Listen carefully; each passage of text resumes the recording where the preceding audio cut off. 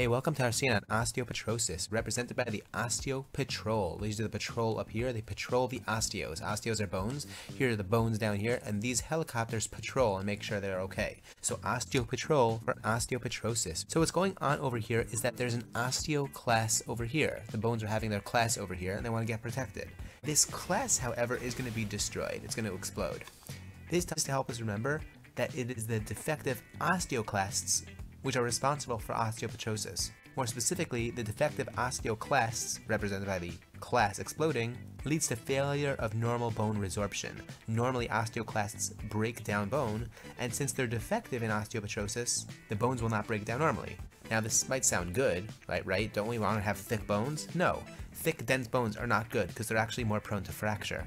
Now look at this helicopter over here. He drops some DNA, and the DNA explodes, and it causes the lemon to explode.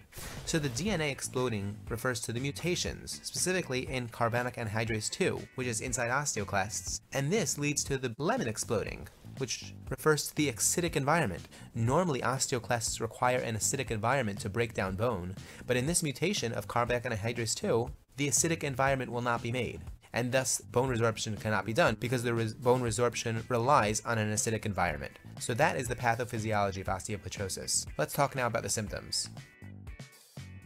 So conveniently, this osteoclast is learning about osteopetrosis. As the teacher mentioned, osteopetrosis is failure of normal bone resorption due to defective osteoclasts, which leads to thick and dense bone that are prone to fracture.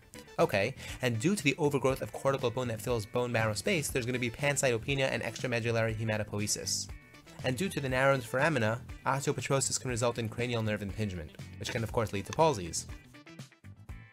On the board over here, the teacher stuck an x-ray picture of the diffuse symmetric sclerosis seen in osteopetrosis, which is basically bone in bone, and it's more whitish as you can see over here. Okay, just a word on treatment. So the only treatment really available that could potentially do anything is bone marrow transplant. This is potentially curative because osteoclasts are derived from monocytes. So the monocytes in the new bone marrow can evolve into new osteoclasts, which are not defective. Okay, I hope you enjoyed the scene on osteopetrosis. Alrighty, take care.